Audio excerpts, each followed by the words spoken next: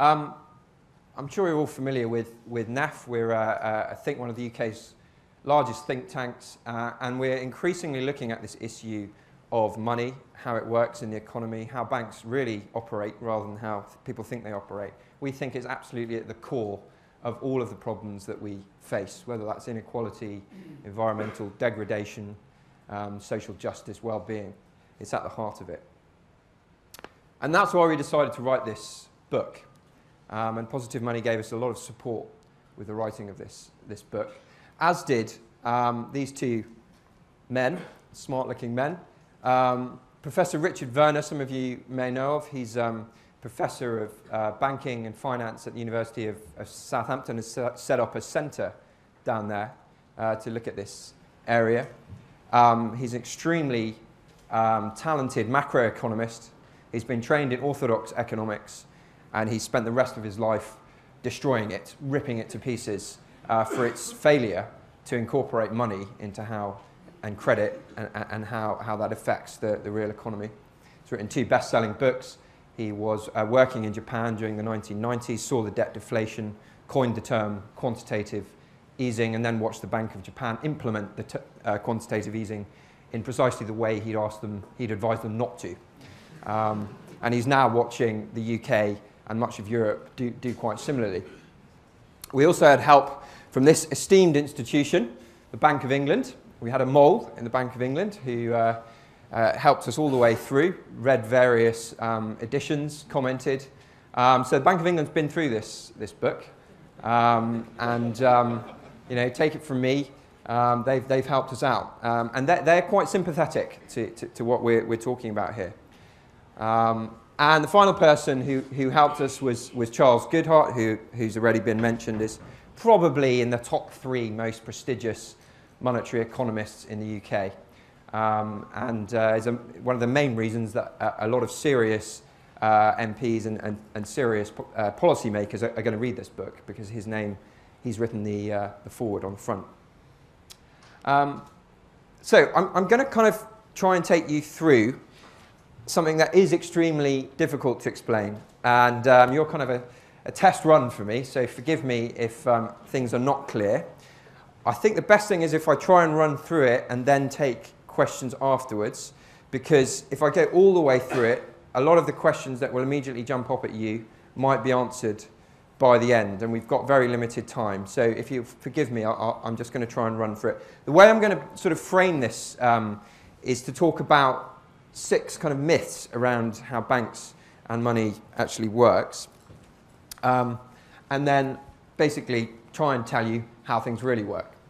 The first myth um, is, uh, which I hope you, you know is a myth, is that banks essentially, their essential function is, is as intermediaries. Um, now, banks do play an intermediary function. If you uh, have a savings account, a, you know, a time deposit, that money is recycled um, to other parts of the economy. But this idea that that's the main thing that banks do is wrong, okay? Um, banks do not, that their primary economic function is not as an intermediary just recycling our savings, as this kind of diagram shows. Um, banks are creators of credit. They create brand new purchasing power, okay? Um, this, is, this is how they do it, essentially. They make a loan, let's say a loan to Robert uh, uh of £10,000, okay? Banks use double entry bookkeeping. Those of you who are accountants, any accountants in the audience? Hands up. Hands up, come on, don't be afraid. Okay. so we've got about four or five accountants. You guys will understand this, I hope, more quickly than, than, than a lot of people, and I advise you to get into this subject. But essentially, when a bank creates a loan, uh, it creates both an asset, which is the loan, and it creates a liability at the same time, at exactly the same time. The liability is the deposit. A deposit is money. You can use it to pay your taxes. You can pay your taxes to the government with an IOU created by a bank, a liability. And everyone else in the economy will accept that deposit, that IOU, because everyone knows they can pay their taxes with it. It's that simple, right? That is money, okay? And the bank doesn't need anyone else's deposits to create that deposit. Okay? It's just created that £10,000 um, by typing a, a number into a computer on the basis mainly of its confidence that you'll pay back that loan, and in some cases, not on the basis of its confidence that you'll pay back that loan, because it's packaged up that loan, securitized it, um, and sold it on to somebody else to take the responsibility of paying back the loan.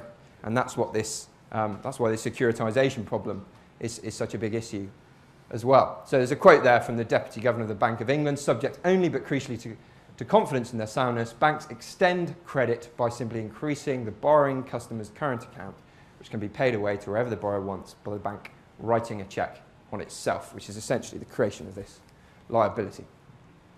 Now, I hope that's clear to everyone because Joseph Schumpeter, who is one of the greatest um, economists I think that ever existed, and he'd be my sort of number one choice if you want to read one of the classics, this book, History of Economic Analysis, 1954, observed back in 1954 that economists found it very difficult to get their heads around uh, this simple concept that when banks create loans, um, they also uh, create deposits.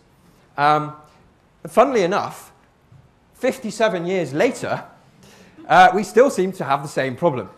Um, and this is two quotes from the Independent Commission on Banking's um, reports.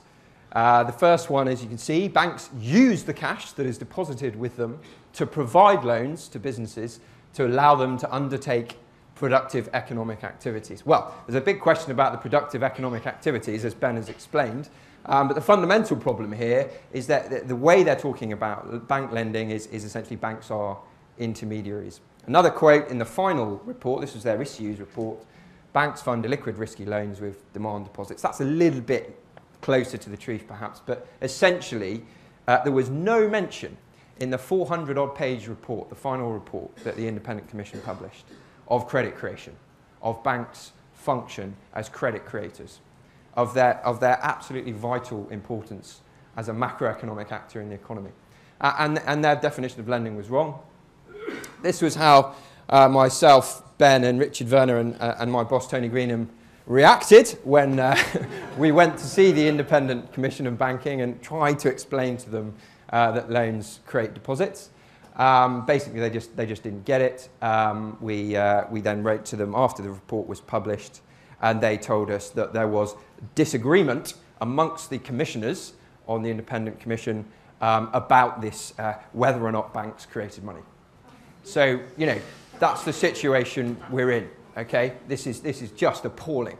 These, these are the people that are charged with recreating our banking system, and they don't even understand that banks create credit when they make loans. So, the truth on this one, uh, rather than the myth, is that banks create deposits which can be used um, to make any kind of routine payment. Essentially, it is money uh, whenever they expand their balance sheet. So that's a sort of technical sounding term, expanding the balance sheet.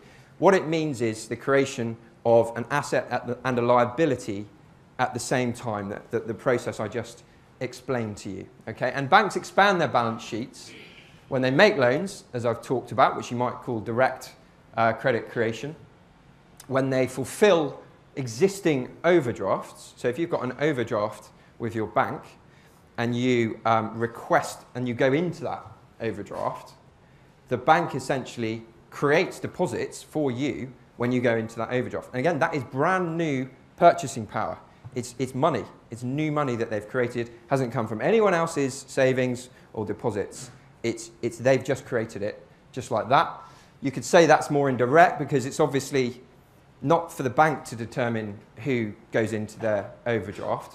It's, it's more you or the business or uh, whoever it, it might be. But of course, it's the bank that decides whether or not you get an overdraft. So they are still making a very important macroeconomic decision when they decide to give you an overdraft or not. And of course, the interest rate they offer you is equally important in terms of your likelihood of actually drawing down on that. Um, and the third main way they, they create new money is by buying existing financial assets. Uh, bonds, government bonds typically, uh, buildings count as assets, and, and the list goes on. Um, now, I want to talk a little, I'm going to talk quickly about this because I think most of you hopefully already quite familiar with this myth, the myth of the money multiplier. Um, this is the idea that uh, essentially uh, banks are limited by um, the central bank according to the, the, the amount of reserves that, that, that, they hold. And if there's a reserve ratio, um, in this case it's a 10% reserve ratio, that there's a sort of mathematically finite amount of lending that can go on in the economy. So you start off with £100, uh, the, the, the, bank can then, that's deposited, and the bank can then use that to, to lend um, 90 with a 10% reserve ratio, holding on to 10, etc., etc., runs on through the economy. You end up with 900 pounds. Another way of presenting this is in this kind of way. You've got these are cycles of lending going along the bottom. The dark green is the so-called base money, central bank reserves, and then the amount of lending upon which you can make, it, it gradually runs out um, over time, the additional lending being the, the grey. So the kind of the easiest way to think about it in some ways is, is as this kind of triangle. Uh, we have a monetary base and the banks can lend upon that, but, in, but, but gradually their, their lending is, is, is kind of reduced um, over time. The idea is that that creates some, some kind of stability. Now, the truth of the matter is that, that this is uh, no longer the case. Um, in the UK, uh, as Ben explained, uh, there is no uh, compulsory uh, liquidity reserve ratio uh, or deposit ratios as, as, it was described. Um, that, that was completely abolished um, in the early 80s. Um, and, you know, th this idea that there's a relationship between central bank reserves and, and actual commercial bank money, um, it, it, there's no evidence for it really at all. And this is a nice example to show that from the book um, figure five. This shows the uh, collapse of commercial bank lending, the top chart. Um, these two charts are on exactly the same calendar, by the way. We're starting in uh, June 2000, running up to January 2011. You can see this massive collapse in bank lending. And this is, the, this is bank reserves at the Bank of England, central bank reserves. You see here that they're completely flat with all this high level of credit. There's this collapse they pump two, 200 billion uh, reserves into the, uh, into the system, into the banks, and um, lending just carries on going down. So, you know, there's no, there's no relationship there. And the Bank of England, um, you know, Paul Tucker again basically admits here that base money comprises neither a target nor an instrument of policy. So this is what it, it really is, a, is a better way of thinking about that relationship. It's essentially a kind of balloon. There's these reserves that are required within the system, which I'll, and I'll explain that in the next couple of slides. They're required for interbank payments. And banks essentially lend on the basis mainly of their confidence, as, as we've discussed. You know, if they think people are going to pay back their loans, or if they've got ways of you know, de-risking the loans through securitization, they'll make loans. You know? And um, they just need to have enough reserves um, to clear at the, end of, at the end of each day all their payments with other banks. Um, and there's a nice quote here from Charles Goodhart, who wrote the foreword to this. Um, the base multiplier model of money, of money supply determination, is such an incomplete way of describing the process uh, that it amounts to a misinstruction. So, um, banks, as I say, when, when, when, when you um, pay some money uh, into your bank. If you bank at, um, if you bank at HSBC and you pay some money to Barclays, it's not actually commercial bank money that created by banks that moves. Effectively, what happens is central bank reserves are moved from um, HSBC to Barclays. Okay, that's the only way banks can settle with each other within the closed loop of the intrabank um, payment system which is represented in this diagram on page 63 of the, the book. Okay? Central bank reserves are, can only be created by the central bank, and they can only exist within the interbank market, the interbank trading system. We can't get central bank reserves. Is just a different kind of money. It's, it's a money of final settlement within the banking system. Okay? Because a bank, when a bank um, creates new money, as we've seen, it makes a loan, the money itself is a liability, it's an IOU. And banks can't use IOUs between it and me or, or it and HSBC and you to settle with other banks. They have to use central bank reserves. The, the central bank is the lender of last resort. Its money is the most um, liquid. Uh, it's quite complicated to explain the history of how this came about. Five minutes, okay, we have to speed up. Um, but please read chapter two and you'll find out exactly how it came about. but, but essentially, um, you've got to, um, each bank has to hold enough central bank reserves to um, pay all the other banks in the system. And what they do is you have this interbank market where they um, trade the, the reserves between each other, usually in exchange for government bonds, okay, which are also very liquid kind of asset. So every day, um, these, these, these uh, reserves are swapped between the banks on the interbank market, and they charge interest upon them. The LIBOR rate, the interbank interest rate, shot right up during the financial crisis because banks lost confidence in each other's own solvency, right? They, they stopped believing that if they made a loan of reserves to another bank in the system, that that bank would actually be able to give them back the bonds that they're, they're exchanging in the, in the loan and pay the, the interest. So the interest rate shot right up on, on, uh, on reserves, on the repurchase agreements that the banks had between, and the whole system almost came to a complete collapse. And that was the reason the central bank pumped in 200 billion of reserves in quantitative easing to, to create more liquidity within the system. Okay, so now all the banks are flush with these reserves, but as we've seen, they're still not lending. So despite all of this quantitative easing, it's still not working. Um, now, a, question, a very good question that, that, that we often get asked, and I think Ben was touching on it before, was, um, was asked it before actually, is if banks can create brand new money whenever they want, why do they need our deposits? You know, why is it so important? Why are these, these campaigns um, to move your money from you know, HSBC to a credit union or you know, a small ethical bank? Well, banks have balance sheets, as I've explained, and this is basically what a ban bank's balance sheet looks like. You've got loans to customers, as I've talked about. You've got reserves at the Bank of England. You've got cash. You've got other financial assets, um, etc. And on the other side, you've got customers' deposits. You've got loans from other financial institutions including in particular whole, the wholesale markets that, that increasingly European banks became very dependent on. And you've got capital, okay? And capital includes retained profits from interest, as we discussed, issuing shares um, and, and provisions, which they hold to, in case some of these loans go bust, essentially. They have to hold capital and provisions um, to, to make sure their balance sheets balance. The, these, this balance sheet total liabilities must equal total assets, okay? They have to e equal each other out. The reason banks like retail deposits is because retail deposits are pretty cheap.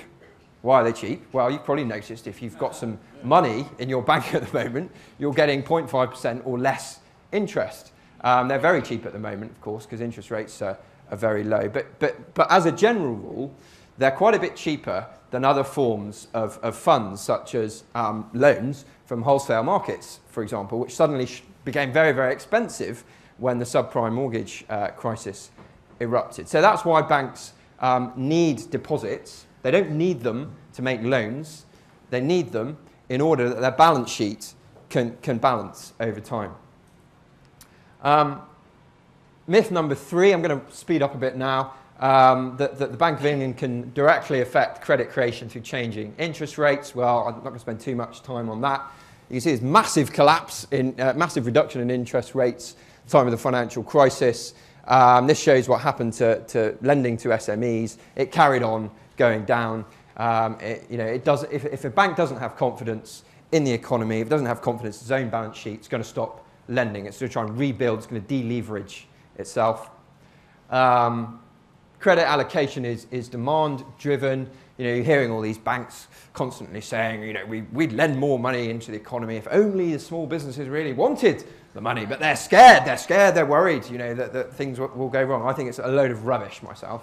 Um, and, and the Bank of England's come up with lots of data to show that, okay, maybe that, that there's less small businesses applying for loans. But the reason they're not applying for loans is because the interest rates are so high or because they, they, they want to hold money back because they think that the bank's going to remove their overdraft, their overdraft facility or put up interest rates on their overdraft facility. So, of course, they're, they're not applying for loans. It, credit is driven by banks, it's rationed by banks, and some of the best economists in the world have um, worked on this stuff, including Joseph Stiglitz.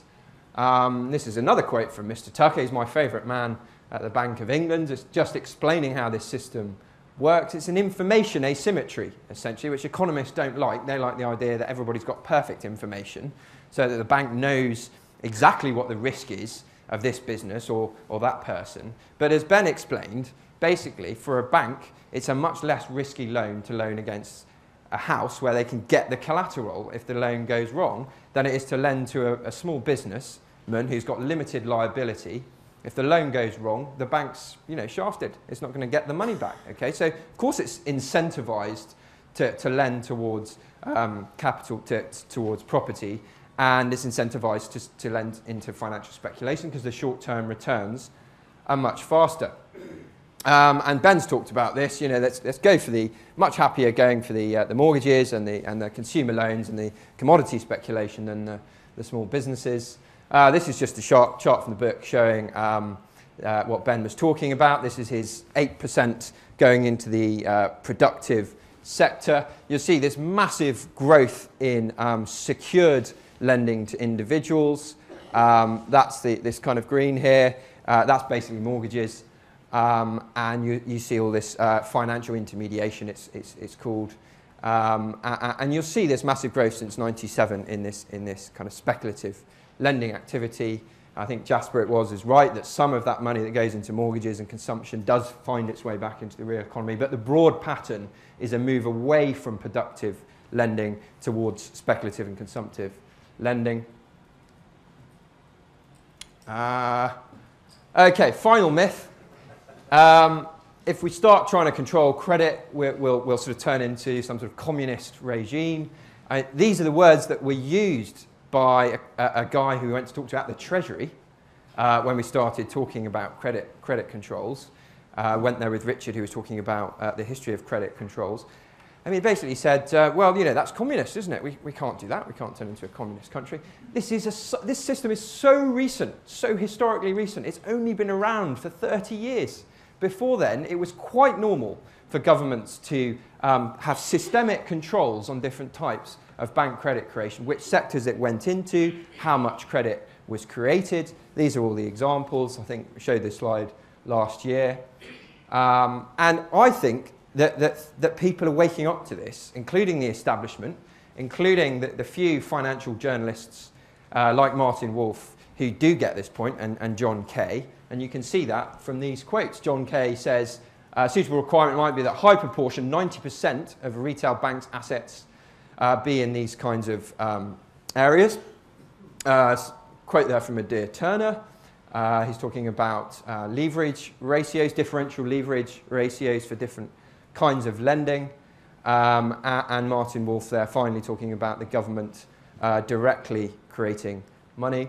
Um, and I just want to make one final point before I finish, uh, which is about the debt crisis and how this all ties into it, the global debt crisis. It's very important to understand that when a government that's already in debt, as virtually every government is, um, makes, uh, uh, spends money into the economy, it issues bonds. Okay, that's the only way it can do that, and those bonds are bought by the private sector. Okay, the private sector could spend that money on something else. It could invest that money in productive business activity.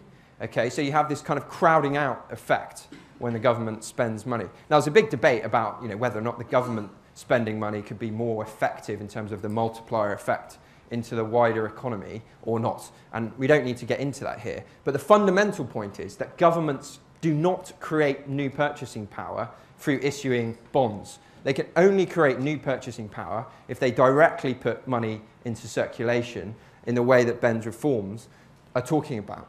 So, you know, it's just a very simple step. If we're going to do nothing else, government should stop issuing bonds and borrow directly from these banks. that are so that, that have these horrific balance sheets. They'd like nothing more than the government to borrow from because the government's the, the, the least risky debtor you can, you can possibly get. That would create brand new purchasing power in the economy. The government can spend it on whatever they want, you know, infrastructure, transport, building houses, loans to small businesses, or, or make loans, you know, or, or buy debt from small businesses directly. Um, so I just wanted to, to finish on that, on that kind of point. And just say, keep up the pressure, as I, as I said, you know, get out there, lobby your MPs, we'll send them the, the book, get down to St Paul's, educate the, the people down there. I don't think many people down there know, know what we're talking about. Um, and let's keep going. Thank you very much. Thanks.